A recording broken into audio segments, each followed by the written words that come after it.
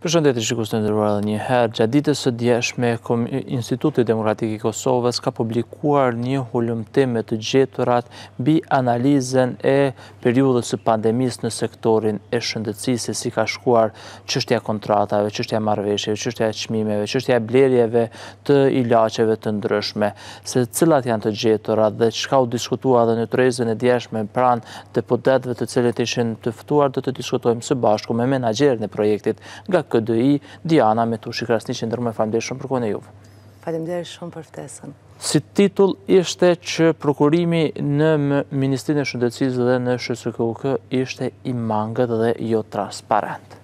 Po. Se si titull kësi? Po, këto janë dy gjetjet kyçe, de facto, të analizës tonë. është një analizë që përfshin periudën qershor 2020, shtator, do të thotë deri tash kur u publiku, shtator 2022, me ç'rast fokusi i kësaj analize kanë qenë shpenzimet e Ministrisë së Shëndetësisë dhe të sektorit publik privat të shëndetësisë në përballje me pandeminë COVID-19. Do të thotë, qëllimi është gjithë periudha e pandemisë. Periudha e pandemisë. I keni kaluar tre ministra, i keni analizuar punën e tre, po, ministrave, me thënë. Po, KDI ka fillu fillimisht me kontratat e para, me analizën e kontratave të para që janë dhënë në përgjigjen ndaj COVID, nëntëmbëdhjetë dhe një analizë veç se kemi publiku në qërshor të vitit dy mijë e njëzet. Dhe pastaj do të thotë me këtë analizë është përthekua, po është analizu gjithmonë me një mostër të limitune, për shkak që të gjitha prokurimet nuk kemi mujtë m'i monitoru, mirëpo me një mostër të përzgjedhur, prokurimet të cilat janë zhvillu nga institucionet qendrore shëndetësore, gjatë periudhës qërshor dy mijë e njëzet shtator 2022 që do thotë po ka pas ndërrime qeverish, ministra t'ndryshëm, e tjera. A mundemi me vlerësu cili ministër ka menaxhu më lehtë, më mirë, apo tek të gjithë ka pasur telashe, bëhet fjalë për ministrin e fundit Rifat Latifi, Armend Zemaj dhe Arben Vitia. Të them të drejtën atë që më së paku e dimë në aspektin e performancës institucionale është ato të fundit, të ministrit të fundit, për shkak të që ende nuk ka të publikune raporte të performancës nga ministria.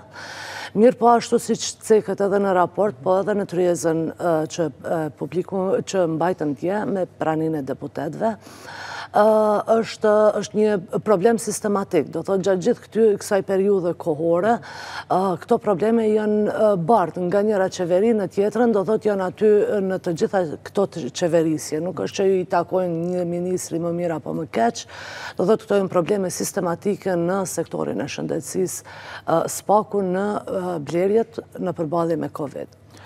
Tek blerjet, si janë ble barnat, me çfarë çmime janë ble barnat e periudhës së Covidit? Po, shife, Kosova do thotë është duke ble barna për Covid në tri institucione, do thotë një është nga SHSKUK, e dyta është nga Ministria e Shëndetësisë dhe e treta si pjesë e pakos emergjent apo projektit një emergjent të Republikës Kosovës për COVID-19, Ministria e Shëndetësisë ka lidh marrëveshje me UNOPS-in për të zhvillu procedurat e prokurimit për këtë ministri. UNOPS-i është një degë e Kombeve të Bashkuara, e cila mirret do thotë me ofrimin e shërbimeve në përgjithësi për shtetet në zhvillim. Si ka qenë raporti me UNOPS-in këtë rast? Raportin me UNOPS-in fillimisht do thotë ka qenë në rregull, do thotë për shkak që e para çka është është që është shumë vështirë t'i qasesh këtyne dokumenteve, Ne, ashtu siç e cekëm edhe dje, neve nuk kemi qasje në marrëveshje të cilat, apo s'paku deri dje, deri sot mëngjes nuk kemi pas qasje në marrëveshjet e nënshkruara ndërmjet Ministrisë së Shëndetësisë dhe UNOPS-it për të ditë se kush çfarë përgjegjësie ka, kush janë hisedarët në këtë marrëveshje. Dhe fillimisht jemi drejtu UNOPS-it për shkak që kontrata që ipen nga UNOPS-i nuk janë transparente për publikun dhe i kemi kërku qasje do thot në marrëveshjet, në prokurimet të cilat ata po i zhvillojnë e tjera dhe na është dhënë një informacion i pjesërishëm, do thot disa tabela të disa blerjeve, mirëpo jo informacioni. Çka kemi blerë përmes UNOPS-it ne? Kem ble barna të ndryshme, do thotë, po ajo që është ma e thjeshta dhe ma e kapshmja për të gjithë është për shembull blerja e paracetamolit. Se paracetamol ka ble edhe Ministria e Shëndetësisë, ka ble edhe SHSKUK-ja dhe çka është shqetësuese është që ne kemi gjet që për shembull përderisa po flasim paracetamol një gram për injeksion, SHSKUK-ja e ka pagu me 84 cent, 88 cent e ka pagu Ministria e Shëndetësisë paracetamolin, ndërsa UNOPS-i në kontratën e saj ka pagu 3.80 euro për të njëjtën barn, që i bjen pothuajse 280% ma shtrejt për furnizimin e njëjtë. Si është e mundun kjo? Ku, ku është telasha këtu tash? UNOPS-i paska ble çmimin më të shtrejt, se këto pse çka ndodhë? E, atë nuk e dimë për shkak të mungesës së transparencës. Do thotë, mhm. nuk kemi pas, nuk kemi has në mirëkuptim deri, deri dje, dje patëm një premtim publik nga ana e ministrisë, që qasja në këto marrëveshje do të jetë e plotë për gjithë ata që kanë interesim. Megjithatë, do thotë në mungesë të transparencës, ne neve nuk mund t'i dimë shkaktarët, e keqja është që këta janë prodhues vendorë dhe janë po të njëjtit furnitorë që po. furnizojnë edhe SHSKUK-në dhe UNOPS-in, edhe Ministrinë e Shëndetësisë. Të njëjtit, e këtu, ky paracetamol i 3 euro e 80 cent, apo? Po. e ka ble UNOPS-i dikun për me sjellë në Kosovë, po? Jo, është ble prej kompanisë vendore, madje, madje për nga edhe për nga përshkrimi. Për përdorim të brendshëm të Kosovës. E ato 3 euro e 80 centa, janë të Kosovës? Po. Ate që kisha dash me sqaru për publikun është, kjo marrëveshje është pjesë e marrëveshjes që kemi apo huamarrjes, kredisë që kemi marrë prej bankës botërore dhe bankës evropiane për COVID, ku na si qytetarë përveç e pagujmë kredinë, pagujna një pikë 25% normë interesi në atë kredi, deri atë informatën që kemi pas deri dje, prapë kthehna mungesa e transparencës, do thotë të limiton në qasje në informacion të plotë, sipas informatave që kemi pas, kemi pagu 3.4% UNOPS-in për shërbimet e saj për zhvillimin e prokurimeve, ndërsa dje u cek që është 7.4 kjo normë, dhe po pagujmë do thotë paracetamolin 300% më shtrejt se që është ble prej vetë dy institucioneve. A vazhdon të jetë ky çmim ende? Po kjo kontratë vazhdon, është në fuqi edhe vazhdon të mbetet në fuqie.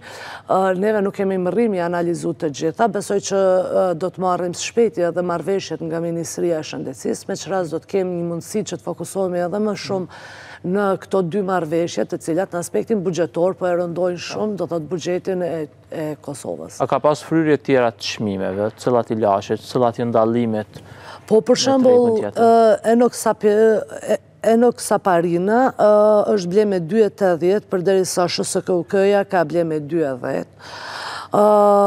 Vankomicina është ble me dy e katërdhjetë, përderisa SHSKUK ka ble me një euro e tetë cent, po flasim gjithmonë krahasim me kontratat publike, as me tregun privat jo. është, falni, piperacilin plus... Tazobaktam, UNOPS-i ka ble me tre e njëzet e shtatë, derisa SHSKUK ka ble me dy e katërdhjetë e katër, e kështu me radhë, këto janë vetëm disa nga shembujt të cilat... E pse është bashkëpunu me UNOPS-in, kur UNOPS-i paska ble me çmime shumë ma të larta? Pse s'ka mujt me i ble vetë Ministria së SHSKUK-ja, Me çmime ma të vogla se qysh i paska ble. Fillimisht është kur është marrë kredia dhe është nënshkru marrëveshja për shkak të tregut limitun krizave me Covid është parapa do thotë që të angazhohet edhe një institucion i jashtëm, jo definitivisht UNOPS-i, që ta ndihmojë Kosovën me blerjen e barnave. sidomos tu pas parasysh edhe vonesa që janë bo me ankesa, me trajtimin e landëve, gjitha, mos të harrojmë që në kohë pandemie, apo në kohë rreziku shëndetsor, jeta merr prioritet. Mirëpo, do të thotë prapë po kthehena në mungesë qasjes të marrëveshjes, neve nuk i dimë cilat janë kushtet, çka do të përmbushë. Këtë rast, a po i bjen që UNOPS-i ka përfitu nga buxheti i Kosovës? Po, definitivisht po, sepse kur e pagun një diçka... 200%. 200% ai 3.4-shi po edhe 7.4-shi i shërbimit është shumë ma lartë sesa të ishte me çmimin e tregut, apo të ishte me çmimin e tregut. Meqenëse jemi te çmimet, qytetarët, pacientët kanë blerë barnat për t'u trajtuar me Covid, edhe ne vetë kemi blerë barnat. A është dashur që t'i mbulojë dikush ato shpenzime, t'i blejë shteti në këtë rast, apo qytetari?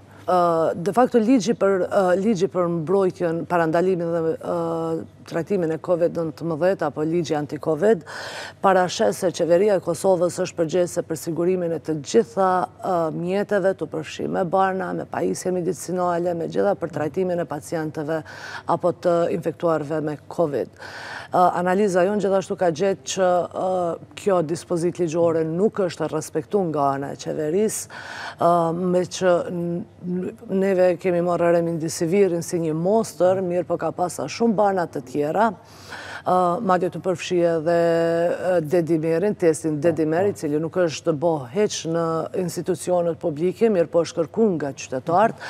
Dhe në këtë rast do të thotë qytetarët është dashtë që të pagujnë me qindra, me mijëra euro nga buxheti i tyne, mos harrojnë jena qytetarët ma të varfrit në Evropë, Përderisa ajo që është edhe më shqetësuese është që gjatë kësaj periudhe në asnjë moment qeveria nuk ka kalu mbi gjashtëdhjetë për qind të shpenzimit të buxhetit të saj. Që do thotë, paret kanë qenë, paret kanë nejtë në llogari bankare të ministrisë apo të qeverisë, e qytetari është detyru m'i ble barnat.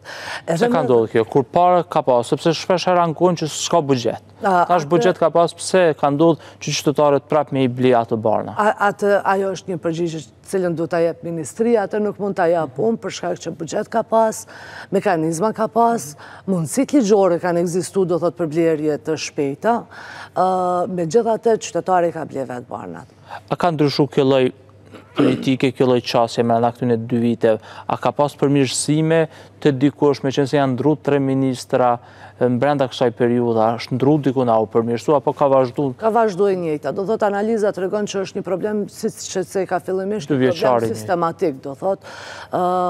Ne vazhdimisht i kemi bo thirje, kjo është vetëm një raport përmbledhës, mirëpo sidomos përgjatë vitit të kalu, në vazhdimësi i jemi drejtu Ministrisë të Shëndetsisë, si për pjesën e sigurimit të mekanizmave për kompenzimin e qytetarve për shpenzimet që i kanë bo për...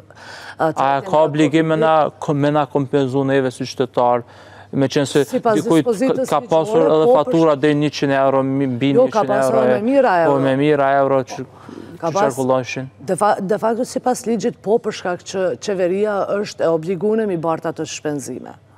Tash çka i mbetet qytetarit? A mundet me e padit? A mundet me kërku kompenzim nga qeveria po, për... Ne po shpresojmë që qeveria së paku, do thotë, mas publikimit të këtij raportit, do të merr një hap proaktiv, po shpresojmë, do thotë, sa ndodhat e nuk e dim, që t'i bëjë thirrje qytetarve dhe të krijojë mekanizmat për verifikimin edhe rimbursimin e qytetarve. Mirëpo nëse jo, Nëse pak qytetarët kanë do thotë terapitë e tyre, atëherë po mundin edhe me vazhdu me aspektin gjyqsor. Krejt në fund, çështja e vaksinave kundër COVID-19, kontrata dhe çmimi i paguar, por nuk është publikuar kurrë sa ka ble Kosova, pse ka ndodhë kjo? Sipas asaj që kemi marrë në vazhdimësi, do thotë përgjigjes që kemi marrë në vazhdimësi nga ministria, është për shkak se ka qenë një nga kërkesat e Pfizer që të jetë sekrete, të kategorizohet sekrete. Megjithatë ajo çka është shqetësuese është që nëse vetëm hin në Google dhe i lyp çmimet sa ka pagu Shqipëria, Maqedonia, Mali i Zi, Serbia, cilido shtet i rajonit, po dhe gjitha shtetet e Evropës Këto çmime janë të qasshme, kështu që për neve si qytetarë të Kosovës është paksa shqetësues fakti që jemi i vetmi shtet në rajon që nuk kemi informata sa jem tu pagu për vaksinën edhe pse na jem tu pagu se fundja fundit arka e shtetit mbushet prej neve qytetarëve. Tregume, falimderit shumë për kohën dhe për këto detaje që ndatë edhe me neve sot. Falimderit shumë. Teleshikues të nderuar kaq kishim në këtë intervistë të cilën e realizuam së bashku me Diana Metushi Krasniqi, menaxhere e programit në KDI, me të cilën diskutuam mbi raportin dhe analizën e tyre, mbi mënyrën se si është shpenzuar paraja publike në kuadër të Ministrisë të Shëndetsisë dhe Shërbimit Spitalor në kuadër të kohës së periudhës dyvjeçare të pandemisë COVID-19. Mirë mbetshim.